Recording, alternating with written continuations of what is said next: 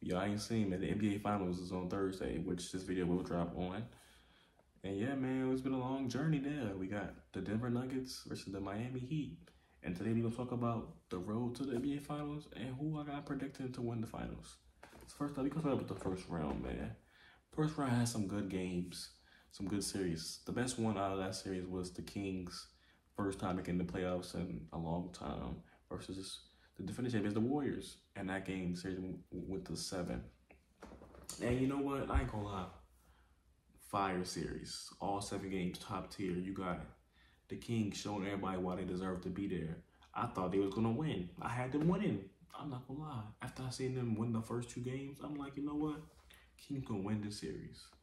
And then Steph Curry reminded us who he is in Game Seven. And we like, you know what? Warriors like that.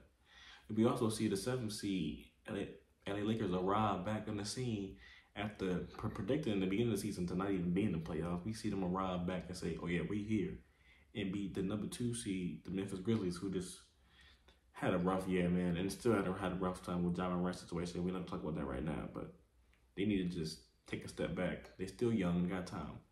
But yeah, and then we saw Denver not really much from. We're not gonna talk about Denver because Denver beat Timberwolves in like five games. It wasn't really much. Should have should have swept them. The the Clippers and the Suns. It wasn't my favorite series. I'm not gonna lie, it's pretty boring. I, I expected more from the Suns and probably the, the Clippers too, but obviously Kawhi just being Kawhi, don't want to play, caused the team to lose, and Paul George not being there at all was, was hurt him bad. So the the for the for, uh, for um for Phoenix, and then we got on the other side Miami. Giannis gets hurt first game, and Miami Heat the eighth seed beat the number one seed. Ain't that crazy? And then a great series too. Cleveland Cavaliers, who had beaten the Knicks, lost to the New York Knicks. Jalen Brunson turned up. Well, the Knicks team who had better talent just wasn't ready for the show. First time in the playoffs since LeBron left. And you do that. I mean, I understand Donovan Mitchell, Garland, but like, come on, man. You got the Twin Towers down low getting destroyed by Randle and them. It's crazy. Boston, Boston, they beat the Hawks, but come on now, in six. It, it we'll talk about that later, but in one of those games they blew a lead, which kind of shows why they're not in the finals right now. One of the reasons, early reasons why. And who else? Um, and then the Nets and the Sixers wasn't even really much of a series. If I'm being honest, they got swept. So yeah. All right, then we get round two. Then we get the Warriors versus LA Lakers. People count, and you know, I'm a bias. I'm gonna be biased here. I'm a Lakers fan, and I love seeing LeBron finally crush those Golden State Warriors. Man, I was tired of seeing them beat up on us all them years. They put them in their place. Then um, I'm not gonna lie. I picked the Suns to go all the way. I picked the Suns and LA to go all the way against Boston both times. Oh my God, the Suns got beat by the by I guess at the moment the best team in the league. Wasn't much. KD had no help. Top five was heavy on DeAndre Ayton. It's a big bum. Don't know what he doing there. Big softy. My God, this they ain't no help. I feel bad for KD. And he tried all these teams to keep losing. Then we had um, Miami Heat beat the Knicks. The Pretenders. They beat the Cavaliers, which probably wasn't much because that was their first time in playoffs too. And they got busted by the seed. Miami Heat is like that, guys. We're starting to see that they're like that as an seed. And then the Sixers and Sixers go to seven, which Boston lose two games at home. Which come on, bro, you cannot do that after you you just being in the finals last year and trying to go back. You can't do that. Obviously, they win in game seven by game seven. Tatum just turns up, go crazy. I think he had 53 points. Most points, I think, in the playoffs. Okay, Tatum, okay. So then we get the conference finals, which just ended maybe last night. Yeah, last night.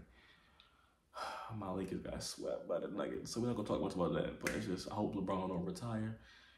He played his heart out. Hey, we started off 2 and 12. Wasn't projected to make the playoffs. Made it to the conference finals as the seventh seed. Good year, fellas. Good years. We ain't done. We'll be back next year. And Nuggets, I don't know who's stopping them, but hey, they look crazy right now, man. Jamal Murray hot. Jokic hot. Bruce Brown. Bruce Brown ain't do this on the, the Nugget on the Nets. Bruce Brown ain't been doing that. Caldwell Pope, we had him on the on LA. He on here scoring 20 points. Yeah, he, he got a ring, but he was he wasn't doing that. Like players stepping up, man. They they the team to beat right now. Then we get Boston Celtics versus Miami Heat. First off, Miami go up 3-0. I'm thinking it's over. Did Boston come back and win three games in a row? I'm like, oh my God, they about to be this the first team to blow a 3-0 lead. Not 3-1, 3-0.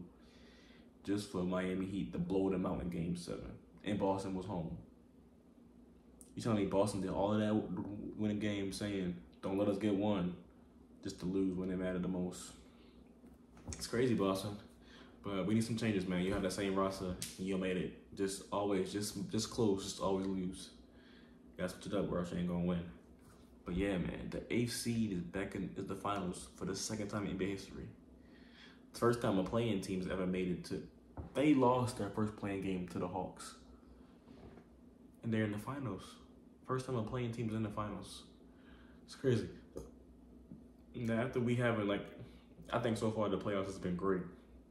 A lot of um, unexpected stuff, new challenges, new faces in the finals.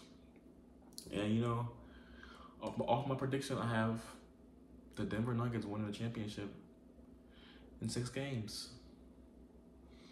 Sadly, right now, Miami is going to lose game one on Thursday, which is air because they've been through a battle with Boston and only got had two days off. The, the, the Denver been rested for like two weeks now. They got a deeper roster. The best player is taller than taller than Bam six nine. The best player, seven foot and mobile. Jamal Murray can be stopped. I think he can be stopped in this series. And if, if Miami truly has a chance, Butler gotta have at least 40 every game, at least 30, 40 every game. Or like everyone got Bam gotta step up too. Bam ain't been the best player we know he can be. He he gotta step up. But sadly, I got Denver in six. Hey, Miami been been beating all the odds all year. We're stopping them from doing it one more time and be and win a championship as an AC. And Butler being probably on one of his best runs ever. Like, what's stopping him from doing it? Nothing. But yeah, man, I got Denver in six. Hopefully this prediction is right because my last one, Suns versus Boston, was false and phony. I guess KD ain't ready. And all, lots of fire, man. And we have a, a crazy offseason ahead of us. The draft, free agents, just trades might happen. Just a lot of that, man. So just stay tuned, man. I'm gonna check back into y'all after and see if after the finals end to see if, if my prediction was right. But yeah, man, this has been a crazy NBA final uh, playoffs, and I think the finals gonna keep going up. But I love y'all, man. Let me know who y'all think gonna win in, in, in, the comments. Let me know who y'all think gonna lose.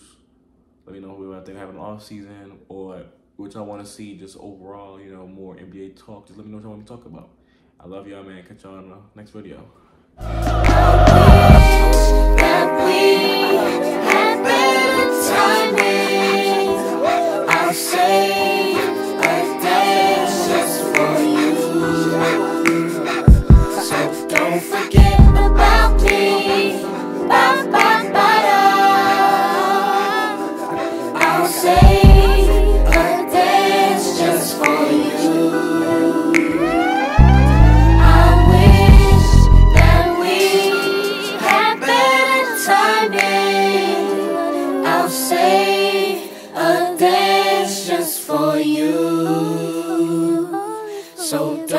Forget about me.